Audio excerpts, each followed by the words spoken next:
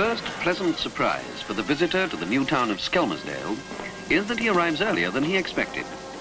That doesn't surprise the people who built Skelmersdale, though. They planned it that way, in where they built in relation to national communication and also in the town's internal road system.